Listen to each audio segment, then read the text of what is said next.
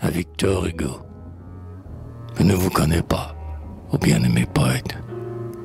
Je n'ai pu contempler la fière et noble tête, où les rayons brûlants et doux du divin feu ont germé sans effort la semence de Dieu.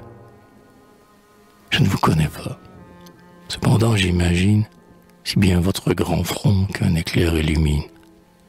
En votre œuvre, poète, on peut voir si souvent votre visage auguste, que si, par un beau jour, perdu dans une foule, car nous ne savons pas où le hasard nous roule, par un jour envié vous passiez devant moi, j'irai droit jusqu'à vous pour vous dire, c'est toi.